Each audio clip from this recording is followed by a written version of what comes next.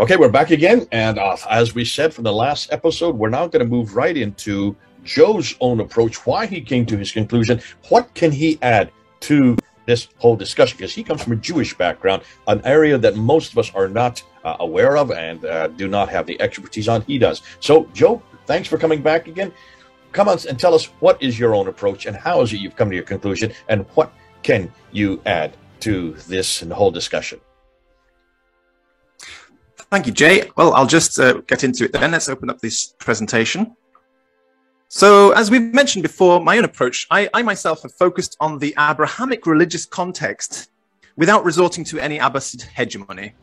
Um, and with that in mind, I seek to seek a synthesis of what everyone else was saying first, and only then to flesh out a theme, I would accept some, just some of the Abbasid comments comments, not narrative, which either go against the Abbasid grain, they go against the standard Abbasid narrative, or appear to echo or be supported by non-Abbasid evidence. Okay, so that's that's my approach.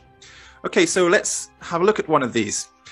So now, looking at non-Abbasid evidence, looking at things which are not affected and don't seem to have any um, relevance to the standard uh, Islamic narrative, there is this relic which has been discussed before, so we won't go into it in great depth.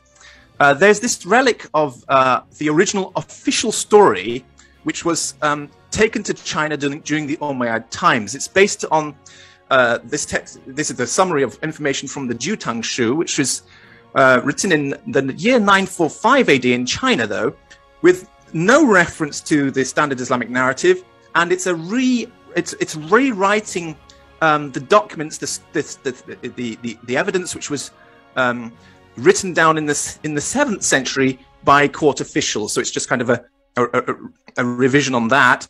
And um, the Chinese had no, no axe to grind.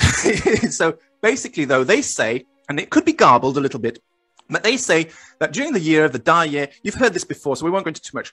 During the year of the Da-ye of Sui dynasty, there was a subject of Persia herding camels. There's a key word in the Mount Kufan city state. Uh, one day, the lion man suddenly appeared, telling him there are three caves on the west side of Mount Kufan city state. A large armory, another key word, is stored inside the caves, and you can go and retrieve the weapons there. There's also a black stone with texts carved on it. You will become king if you read and do what the carved text and the black stones tell you. This is a very unusual story, and it seems a bit odd at first. But the key words are those red words camels, Mount Kufan, that's Kufa, the lion man, uh, armory, king. These are the key words we have to pay attention to.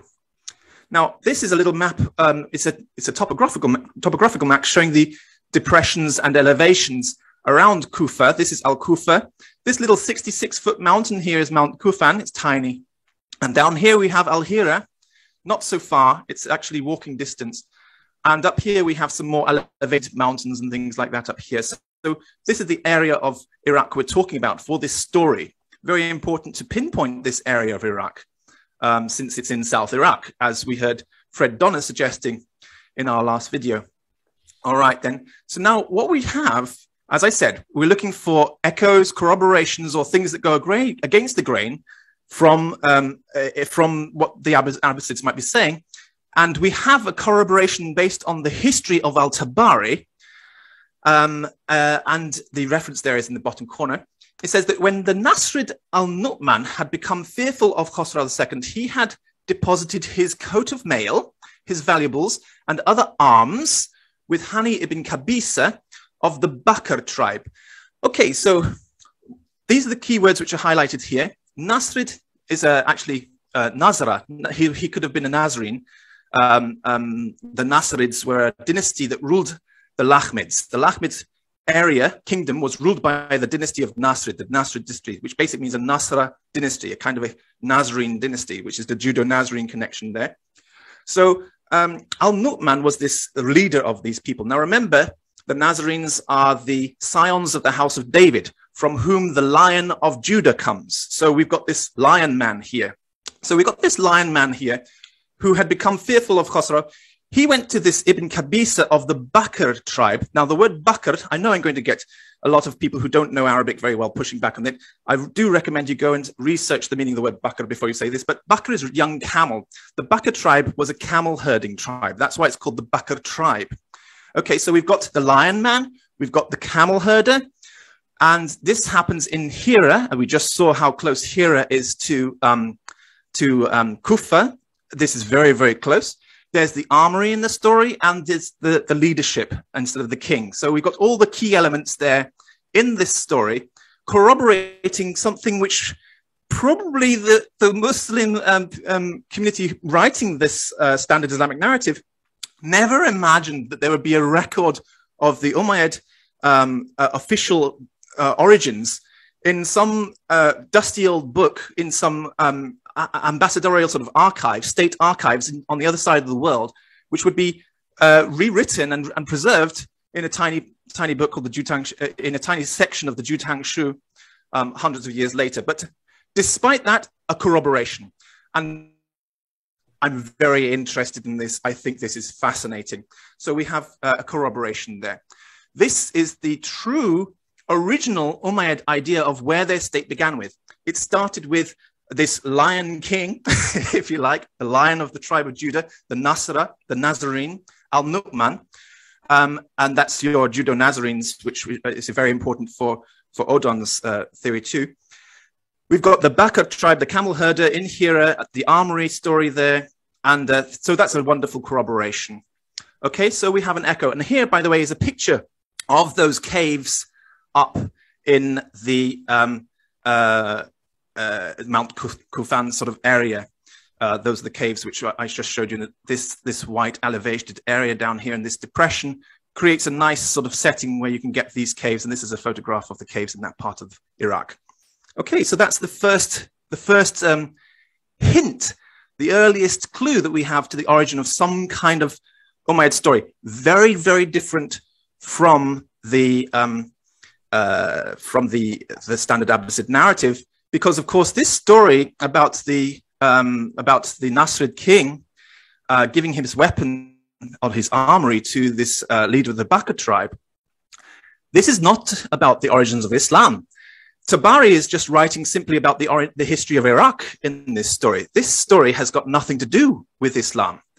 And yet, uh, it is corroborating a story about the origins of the Umayyad state in Iraq from Chinese sources. So, what do you think about that? You've come across it before, but it's worth holding in mind. That's all I've got to say on this one. Ju, Tang Shu, um, it was yeah. Mel that really brought this to light. I think earlier on, uh, he was the one that first came across it.